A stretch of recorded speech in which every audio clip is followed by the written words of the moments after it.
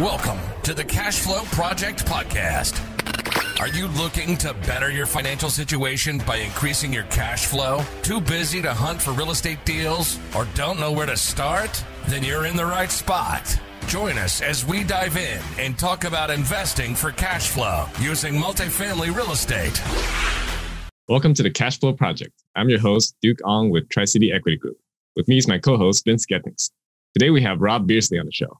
Rob oversees acquisitions and capital markets for Lone Star Capital and has acquired over $100 million of multifamily real estate.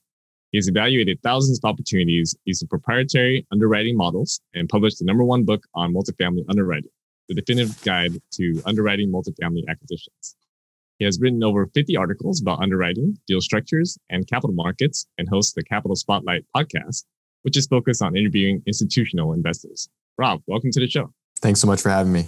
All right. So, how did you get started in your journey to earn passive cash flow?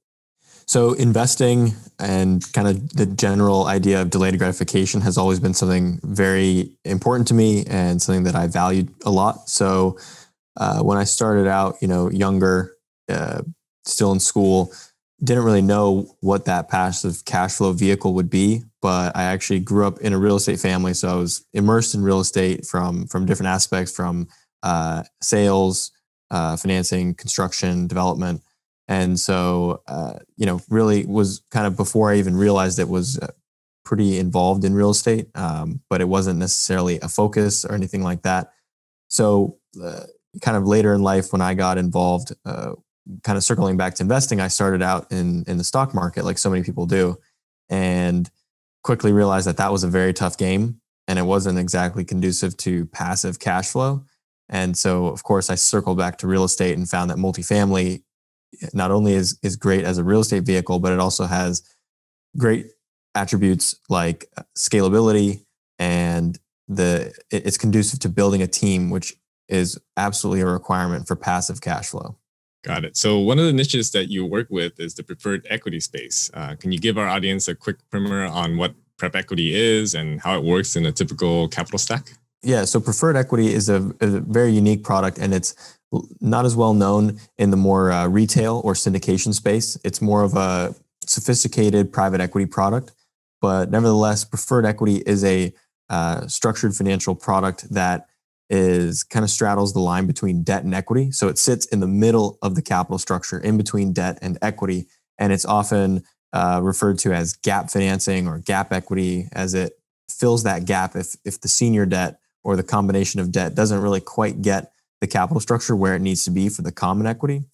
So to you know fully um, describe it, it is an equity investment made into the borrowing entity. So it is truly equity, but it has rights and remedies and preferences that give it a seniority in the equity um, to the to the remaining common equity, which makes it have certain debt-like characteristics which include typically a fixed rate of return rather than equity, which has you know an unbounded upside.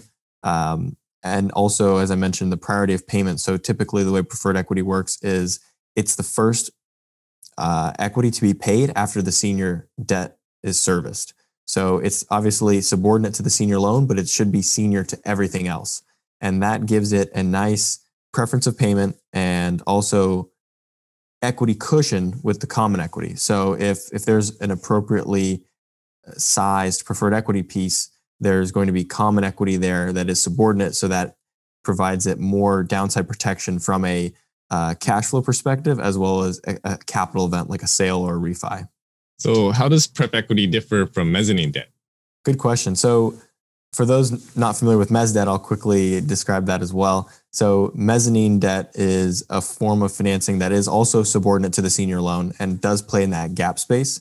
The economics of it are very similar to preferred equity, and the differences really lie in the the structure and the and kind of the legal around it. So, with mezz, you actually are not making an equity investment, but instead you are making a loan to the borrowing entity, and your collateral is a pledge of the equity in the borrower. And so the rights and remedies are a little different with Mezz because you can actually file a UCC foreclosure and go through that process to actually take over the borrowing entity because you have a pledge of that equity. So unlike in preferred equity, if there's a default, you can go through that foreclosure process. Whereas with preferred equity, it's more of a gray area. It just depends on a deal by deal basis how it's structured. Some preferred equity is structured where if there is a default, which could be a, you know a default, an interest default if it's not being paid on a monthly basis, or a maturity default. Uh, you know, preferred equity could spring to action and not necessarily foreclose out the other equity and take over the deal, but they can have springing management rights, which allow them to to step into action and, and hopefully remedy the situation through uh, through management control and also default interest, which dilutes the common equity position, but you're not foreclosing the equity position. So those are kind of the biggest differences between mez and pref. But economically, they're very similar uh, in terms of the returns that they get and kind of the leverage that they are sized to.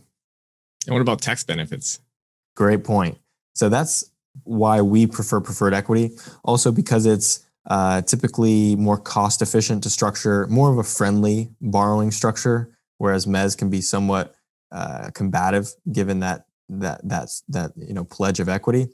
But the big one point that you just brought up are the tax benefits. If you are actually making a loan, you, there's really no tax efficiencies or benefits that you can see there. But with preferred equity, even though it's a debt-like pro- product from an economics standpoint, you are at the end of the day making an equity investment, so you can get equity tax treatment, and so you can participate just like the other common equity investors in bonus depreciation and uh, you know the ongoing depreciation, uh, you know, and tax benefits associated of typical equity investments.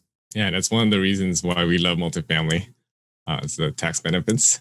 Um, so a lot of um, syndications are now offering a dual class structure. Um, so what's the difference between the preferred equity and say like the A1 shares in a dual class syndication? Right. This is a very interesting point. I'm glad you bring this up. So for those that aren't familiar, the dual class syndication structure, as I describe it, and as you just brought it up, there's an A and a B class of equity. And basically, the A class has seniority or priority of payment, just like preferred equity. And then the B class is the subordinated common equity. And so it kind of splits up the equity to kind of give hopefully the best of both worlds for investors that are seeking different things from the investment. So if I'm a more income driven investor, I'll invest in the class A and earn a fixed rate of return, but I'll have downside protection because I'm first in line to be paid. I get no upside in the project, but that's okay because I'm investing for income. And then on the B side, I'm more of a growth investor and I'm willing to take more risk by subordinating my return to the A investors.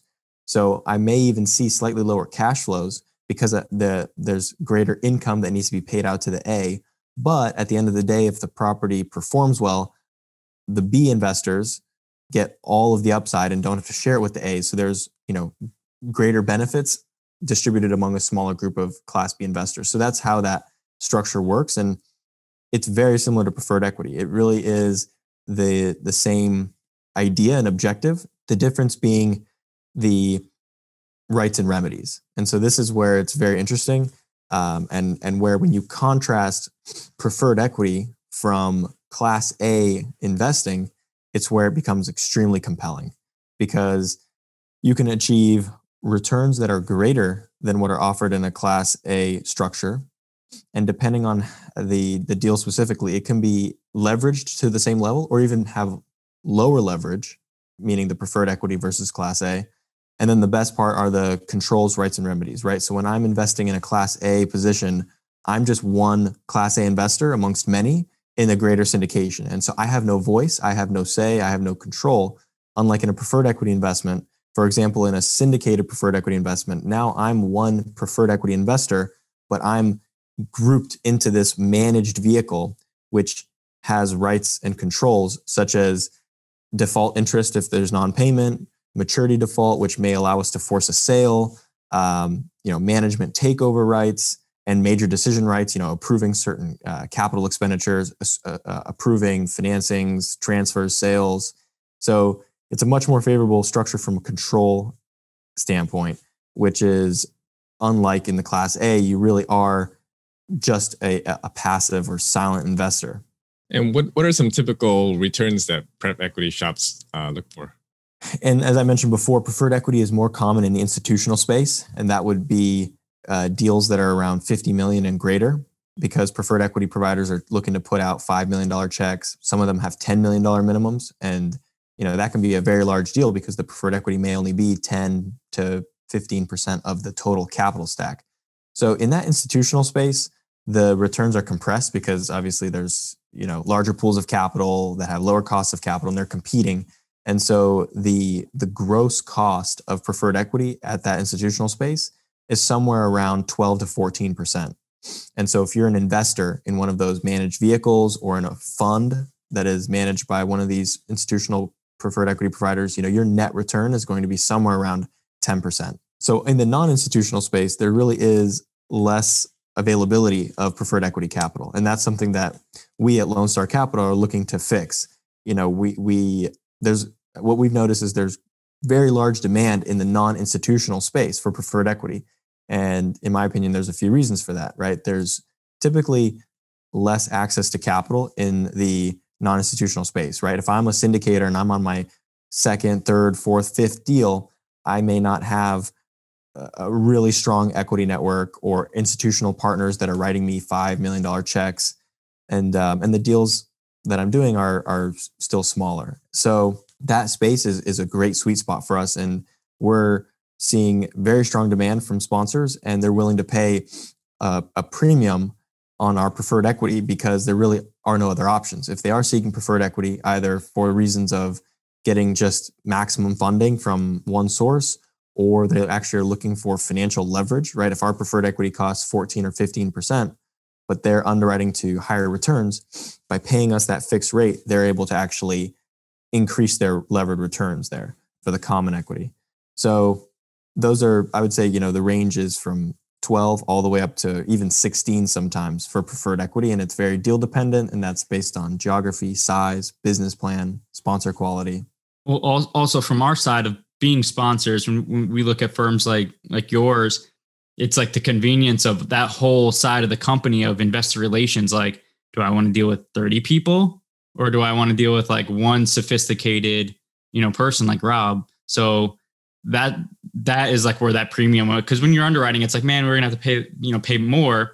It's like what's that premium worth? And then to duke's point because duke is that he sits in that seat he's like man just one person that knows what they're talking about like very in depth and, and could even like you know qa quality check my um my decisions is pretty uh, powerful to have um you know a, that tool in your toolbox um so i can definitely see it on on from the sponsor side of how that niche you're filling is is very valuable. Yeah, I appreciate that. It's definitely we we look to be a value added partner where you know we can provide advice on on the deal structure, on um, you know the business plan, and then you know when the deal is closed, we don't want to be running the show. That's obviously not what we're there to do, but we absolutely are a good um, you know asset management sounding board and kind of a capital market sounding board.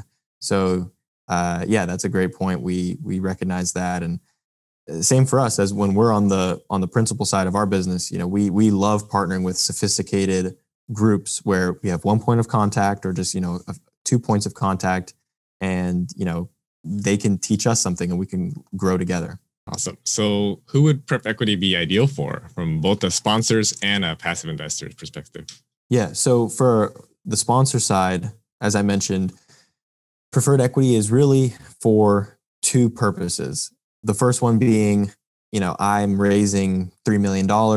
And rather than passing the hat around for, for all 3 million of it to $50,000 each investors, I can go to a preferred equity provider and get, you know, let's say up to half of that. So 1.5 million from one source. Right? And that can really help kind of almost like an anchor investor and get you uh, get more raise velocity going and close that deal and get the next one going and and you know grow your business faster so that would be the first one which is you know ease of access to capital and then the second one would be from a leverage perspective like i said before if you found a home run deal right which those do still exist but they are hard to find but if you find a, a great deal you know you want to be greedy. You don't want to share those returns share the unlimited upside with all your passive investors. You'd be better off bringing in preferred equity that's willing to accept that fixed rate of return allowing you unlimited upside. You know that's what's going to allow you to underwrite to higher returns and, and maximize that great deal.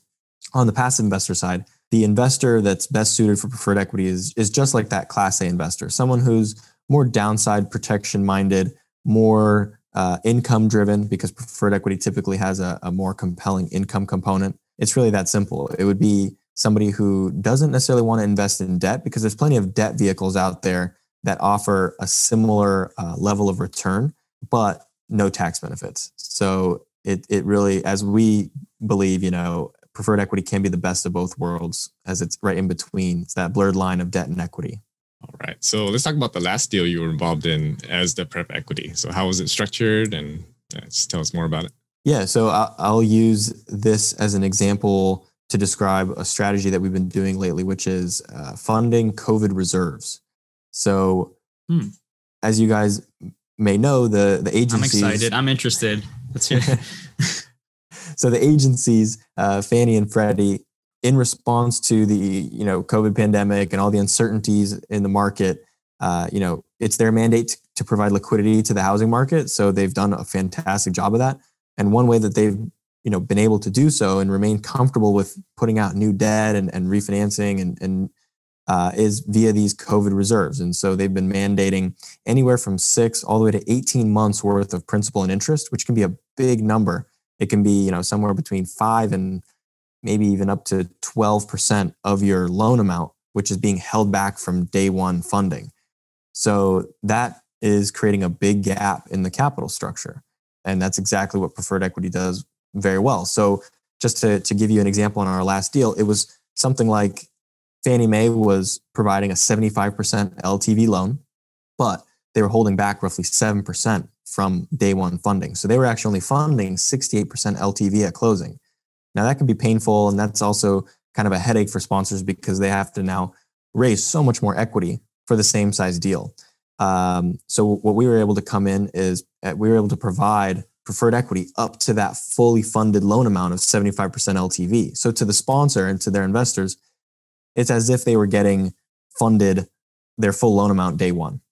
And then the way that that works is the agencies plan on releasing these funds somewhere between nine and 12 months after closing. So these are short term investments for us as the preferred equity, but it's a great solution for sponsors uh, because when that release, when that when those reserves are released from the lender, they'll come straight to us and they'll pay off our position. We're happy because we just got in and out on a short term deal with great downside protection, and the sponsor's happy because they basically saw day one funding of 75% and then it just continued to be 75%. The only difference is rather than paying us 3%, we were getting more of a, you know, 10, 12% return uh, because, you know, we we're, we we're in a preferred equity position. So I, I think that's very much so win-win and a very unique uh, deal structure. And so that's, that's the last preferred equity deal that we closed, you know, in that, in that way. And so one thing to add is this structure isn't a it doesn't have to be on its own this way. So we can do this structure and actually are, are in the process of, of doing a deal with this COVID reserve component in addition to traditional preferred equity. So just kind of to put that in numbers, for example, you know, let's say we're doing a deal where the lender is again doing 75% LTV, but let's say they're holding back 5%. So we'll we'll fund that gap and we'll take the leverage up to 85%.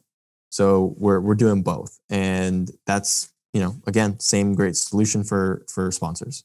Yeah, absolutely. That's uh we gotta we gotta me and Duke have to uh, talk about that. Put that in our, our strategy because we're running into that issue um, right now with the COVID reserves, obviously like everybody else. So uh, good stuff. Um, I'm gonna switch gears here and go more into the the underwriting stuff. So um, we actually use your analyzer. Um, so awesome tool there um, that that we use for all of our deals. So great, great stuff there. And as, as you built it, so what were some of the things that you saw with because there's you know 50 of them out there. What are some of the things that you saw with the all the other um, analyzers and and uh, things that were lacking, uh, sheets that were lacking that you wanted to build your own and tweak it to how you saw that need to get done? Yeah, yeah, that's a great question. So definitely when I started out looking at all these different models and analyzers, I was, you know, I, I liked a lot of components of many of them, but I felt that there was a full product that was missing. And so, you know, there were some that I really liked, but then they were missing a key element. Uh, and then it just was a deal killer. So I would say something that's really important for a model to have to be the way that it's built is actually through monthly pro forma yeah. calculations. So it's not that a an annual, you know, calculated pro forma is, you know, so terrible, but it just it, it makes the calculations a bit more challenging. And so when you break it out monthly, you can get more granular and it just uh, you know provides that better detail. So that's that's something that's very important. And so I found some models out there that were great, but they were only annual, and I you know felt that was lacking. So that's important. You know, other models um, don't have a a refi capability, which you know just uh, to preface that, uh, you know I think modeling in a refi into your uh, assumptions isn't the best practice because it just introduces more complexity into the deal and and you're taking you're making more assumptions than are really necessary. And so we've actually you know learned that the hard way. We we were underwriting some of our earlier deals with you know bridge loan and then we were planning on refining and that just adds complexity. But nonetheless it's nice to have that capability in the model just to kind of see what the refi looks like and because investors you know they ask all kinds of questions and they want to see different scenario analyses so it's it's you know it's important to have those capabilities. So the other big piece of a uh, and I would say the most complex part of a model that is so what I'll also add is most models do everything the same, right? They all have vacancy, they all have you know rents, and you know they're all plugged in very similarly. The the the place that they deviate the most is the way they handle the value add assumptions associated with implementing the business plan and stabilizing. Mm-hmm. And so you see people do all sorts of different things. What they'll do is they'll get really complicated and they'll say, okay, you know, this is how many units we're going to renovate per month, and this is the downtime for each unit, and they, you know, plug in these different ways, and uh, you know, there's there's lots of ways to go about it. And I felt that I'm I like to keep things simple. That's my that's my style. So what I figured out in terms of modeling out the stabilization is is keep it really simple. Basically, you've got your in place numbers, and then you've got your pro forma numbers, and now let's decide how long it's going to take to get from point A to point B. And then let's just gradually achieve that stabilization. And so that's how the model is set up, uh, which I think is very unique and pretty straightforward to explain because investors are often asking, okay, well, you know, your current rents are $800 and your pro forma is 900, you know, when are we achieving that? How, how long is it going to take? What does that mean? And so it's very simple to say, well, in 12 months, we're going to go from $800 rents to $900 rents across these 100 units and you know you can kind of break down the math and say well that's going to be roughly speaking x amount of units renovated per month and the model accommodates for that by just linearly growing rents from that point a to point b and it acts the same way for the vacancy for the loss to lease for the bad debt. Because it's very frustrating to see a model that let's say the bad debt is 3% at the moment and then pro forma bad debt is 1% it's frustrating if the model just goes to 1% day one. You know that's just not realistic. So, so I think that's a very important key element. Absolutely, one of the best things that we uh, we like about yours and uh, spend a lot of time on is actually the stress test uh, tables. Um, the way we have our our dynamic is set up is Duke is our main underwriter, so he'll spend all the time inputting the data, building that that model, and then when, once he's got a you know his first draft, I'll come on I'll come on with like a fresh set of eyes and I'll just start like kind of like poking holes and like what happens if this happens, what happens if that happens, and that way you get a fresh set of eyes on the underwriting, and then you can play like kind of like that devil's advocate of, um, you know, what happens if we have to go at you know 150 basis points on the exit, what, what's going to happen, or what happens if we can't get you know zero percent rent growth versus you know the two percent rent growth. So I love how your um your model has like those those stress test tables kind of in it already. We've added a couple uh, also. Um, but we we spend a lot of time on that because it's always like that that downside protection of like where at what point you know because as a sponsor you always have that fiduciary uh, hat on. So at what point um, are we going to start losing our our money and our investors' capital as well? So we want to be really sure that on all these different like cap rate expansion and negative rent growth and all the and increased vacancy that we have like a, a really good uh, tuned in number of where we can sustain operations and still at least break even or you know on the other side of it is uh, you know hit that home run um, metric so yeah we love we love stress testing everybody should be uh, highly stressing your deals out, especially now with COVID, uh, to make sure that you're you have that downside protection for for yourself and your uh, investors. So, speaking of that, um, what are you doing for right now for COVID um, underwriting, or what have you been doing over the last I don't know what is it like eight months now for your underwriting? How have you been stress testing your deals? It's been both a function of stress testing, and like you said, it's it's absolutely a great point spending time on the stress test because it's you know a good deal isn't a good deal just because it underwrites to a 16% return, right? Because all 16% returns aren't created equal, and you might stress test one of those and see something you don't like, and you might stress test another, and it might be okay. So definitely agree with that. And in terms of COVID, what we were most focused on eh, were near term downside effects because we still believe long term in multifamily. We still be, believe long term in uh, you know the growth of, of U.S. markets and whatnot. So it was it was more so focused on the the near term of okay, well, what if we stress going in vacancy? What if we stress um, the stabilization period? I think that's a really big one, and it's easy to forget. But you know everything's taking longer and and will continue to take longer. Right? We're projecting, or you know, the economists are projecting something like uh, you know maybe 18 months to return to pre-pandemic levels for for many of the the key economic indicators. So it's a much harder thing to argue or to convince an investor and say, well, you know, pre-COVID, we were buying deals and stabilizing them in 12 months. We were, you know, renovating 100 units and making things happen fairly quickly. And it's hard to say the same thing today because I, I, would say you have more headwinds associated with value add. And you know, are the residents going to be willing to pay a, a rent premium for updated appliances and newer flooring and things like that? And uh, so it, it, things are taking longer, and something that we're actually, you know, less underwriting but more so experiencing in our portfolio are just the the issues and struggles with uh, evictions and and the inability to evict, and you know, dealing with promises to pay and, and things like that. And it certainly could be a lot worse. You know, I think multifamily as a whole has been very fortunate throughout this pandemic. Um, but still there are there are those challenges. So kind of to wrap up your the question you asked about underwriting, it's really focused on the on the near term, uh, which is stress and going in vacancy and, and longer stabilization periods. Yes, which equals make sure you have more working capital at closing.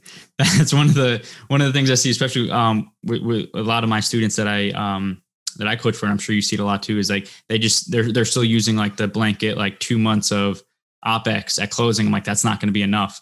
Like your your burn rate is going to be so high right now because you're going in vacancies, whatever, you know, 20% and and things like that. And you, you have 30 units to renovate. And like you're going to burn through that and in three or four months, you're going to be doing a cash call um, from your investor. That's not a position you want to be in. So understand that the, the, the cause and effect of of these things like, yeah, the the zero percent rent growth sucks, and the extended vacancy, high vacancy, you know, is not optimal, and it's going to take longer. But the other side of that pendulum is you're going to need more cash at closing to withstand that torn uh, that storm. So make sure you, uh, as you're underwriting, connecting those dots of not just the one side of like, okay, it's going to take longer. It's I need more cash at closing. So um, on that note, like, what are some other uh, like kind of mistakes that you see uh, newer investors make when they're when they're underwriting. You know, I see a lot, and I'll, I'll chime in at, um, after I hear your your points. But I just want to see what what you see is what are the the biggest things that maybe you can help newer investors right now, like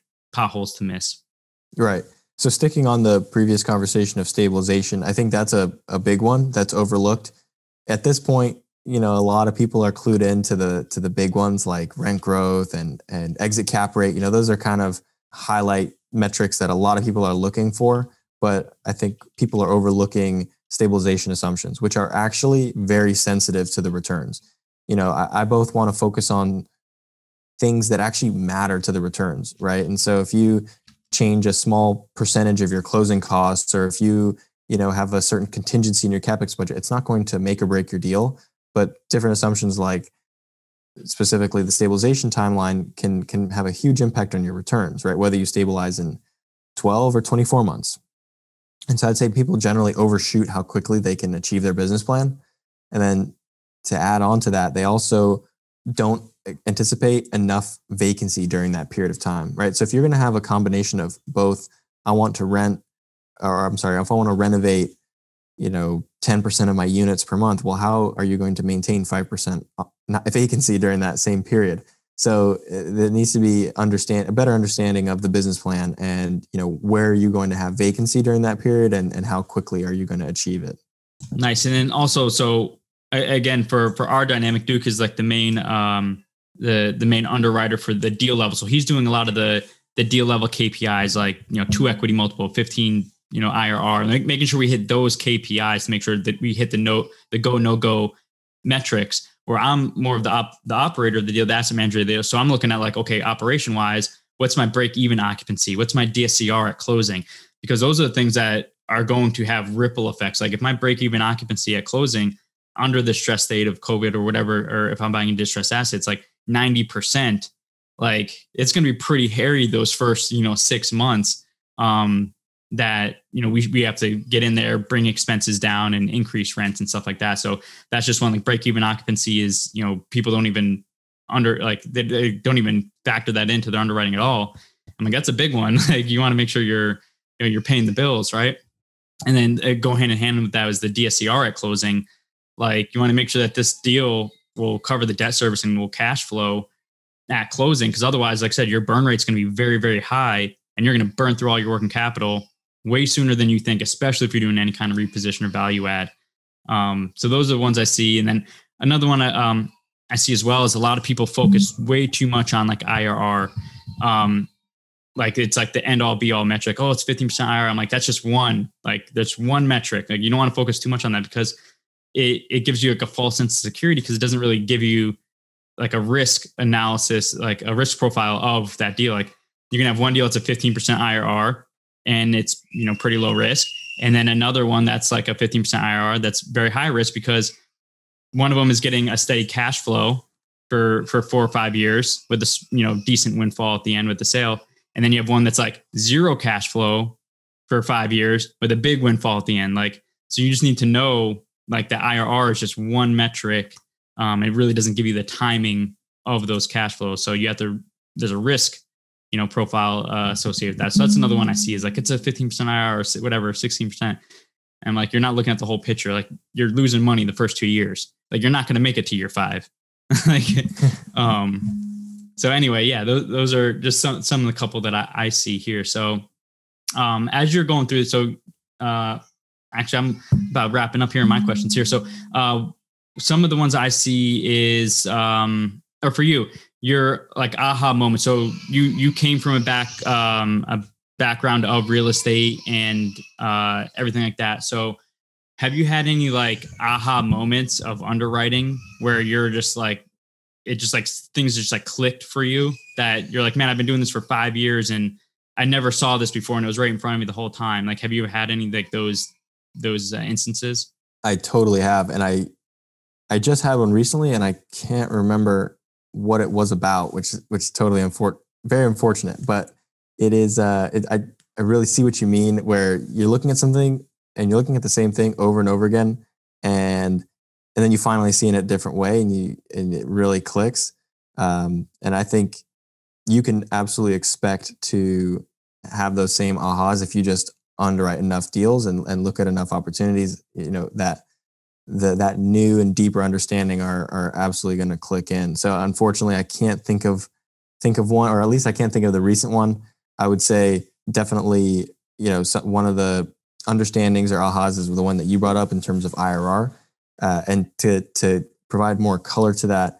If you if you see a high or if you see an IRR, but with a with a, a very high equity multiple, and that you're not used to seeing because typically a 16% IRR is going to be getting you somewhere close to a 2 per, 2x equity multiple. But if you see like a 16 IRR and, and a closer to 2.5x multiple, what that means is all of the return is weighted to the back end, right? Because you're getting more cash flow on a gross basis, right? 2 versus 2.5x, but those cash flows in the future are discounted back to present value via the IRR calculation.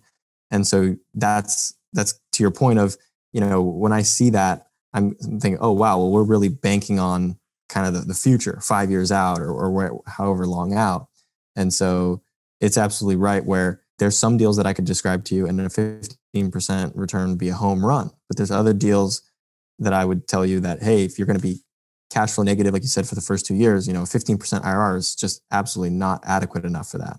Yeah, absolutely. And it's being able to talk through because it is a kind of a complicated thing to kind of break down and chunk it down. But once I once they get it, they're like, it, you know, they can they see that click, like, you know, look at the the bigger picture. All right, so my my last question here as I wrap uh, wrap up my uh, my line here. So, you know, in, in today's market, which is crazy because it's like everything's still pretty hot. We're still in a seller's market, but then there's a COVID mix into it. So, are you still finding deals? Um, have you changed your strategy for deal sourcing um, for your personal uh, company's portfolio, or are you guys going to take a sideline and just see what the next quarter or two look like before you jump back in? Yeah, so we re- we remained active in sourcing throughout the whole pandemic. So, and that was you know, both were looking for opportunity, both were just trying to learn more about the market and understand what was happening. And uh, yeah, yes, it was very difficult to find good deals pre-COVID, and it's still very hard to find deals post-COVID. And I'd argue probably got a little more difficult.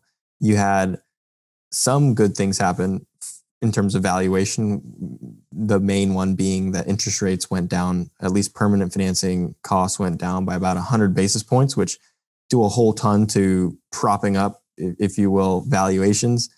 And then on the operational side, I would say, you know, there's NOI growth is less uh, certain and, you know, business plan implementation is less certain. So you have headwinds on the operational side, but on the capital markets valuation side, you know, things have gotten a bit better, at least on the debt side. So in total, I would say, you know, values have maybe declined 5% or so. Uh, due to all the things that have happened, which is not much at all, actually. So, so definitely deals are still out there. And one way that we've switched our uh, focus a bit is, you know, one being a big switch, which is adding the preferred equity structure or the preferred equity strategy, which, you know, we had our eyes on it and we wanted to launch that platform.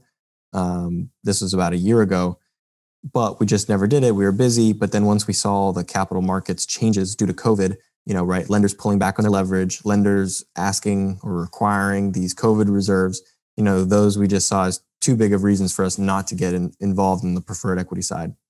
But in terms of actual acquisitions, we're also focusing more on core plus strategies, which would be characterized as lower risk, more of an emphasis on cash flow, better location, better asset quality. You know, basically just take less risk where we can and still achieve modest returns, like acceptable returns. So rather than swing for the fences right now, which is very difficult to do for for a few reasons, right? It's harder to implement a value add plan, and also the big one, and it's getting better now, but the big one was, you know, only a few months ago that bridge debt was so expensive and so challenging to get.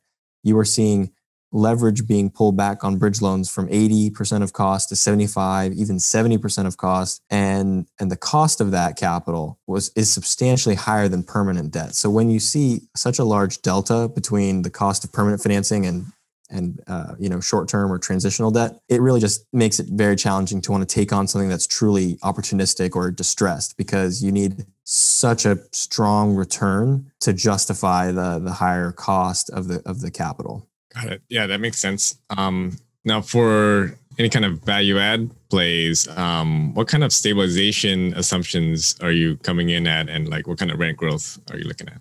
Yeah, so the rent growth we typically underwrite between you know typically two percent. If we love the deal, love the market, then we'll we'll push that to three percent. And the uh, the stabilization timeline, I would say, is kind of on the low end, twelve months and this and it's also very um, unit count dependent right if we're talking about a 30 unit deal then you could stabilize that much faster but you know typically we're talking about 150 to 300 unit properties and so it and also it depends on your business plan. Are you actually looking to programmatically renovate every interior? Then you need to account for that right in your stabilization timeline. But in any case just due to covid right we're going to slow things down stress the going in assumptions and you know do a minimum of 12 months as we kind of stabilize and burn off that the in place uh, exacerbated vacancy as an example. Got it. All right. So as we wrap up and head into our fire round um, what is the best book that you recommend other than your own that's a good one so I would say, in terms of kind of staying on this topic of multifamily and private equity, um, a really great book is called Investing in Real Estate Private Equity by Sean Cook. Uh, that that book is just fantastic. Um, I'm definitely due for a reread because I keep recommending it, but it's been a while since I've read it myself. So uh, yeah, that book goes into a lot of these really good principles and ideas about um, selecting a sponsor, selecting a market, selecting a deal strategy, and kind of more about the risk side of the equation, which I think a lot of people don't spend enough time thinking about it. And there it is. Yeah, it's excellent book. Um, what is your superpower? Oh wow, my superpower. I would say, you know, one of my superpowers, especially, you know, as it relates to the the great discussion that we've had today, is taking complex topics and ideas and and simplifying them down and making them much more uh, accessible and teachable. All right. What is the biggest lesson that you've learned over your career? I would say, and this plays into one of my weaknesses, which I I need to do a better job myself and lean on others on doing better due diligence. I think, you know, uh, due diligence is something that you cannot do enough of. And so that's something that if you haven't learned it, you know, yet the easy way, you're going to learn it the hard way. So it's just ideal if you can learn it the easy way. Definitely. Or just get a partner that's really good on that. I'm, I'm, I'm big into the idea of focus on your strengths and, and find partners that compensate for your weaknesses. Um, for example, Duke is, you know, he's got the the very data driven mind and he, he can do underwriting and I'm pretty good at underwriting, but he is on a whole nother level. Um, so yeah, he just sent me your book um, and, and, the Sean Cook book, that I was just showing you uh, to help me up my game. Uh, cause we're always pushing each other's to improve. So on that point, like uh, I'm big on partnerships of, of trying to find people that will push you and will compensate for your weakness. So if I'm not, if I'm not that good at uh, due diligence and, and like physical stuff like that and project management, I'm going to find a partner that is just a rock star at it rather than uh, me trying to kill myself. I'm just going to focus on what I'm good at. That's just me though. No, that's a great point. So for the busy working professional working towards financial freedom, what advice do you have?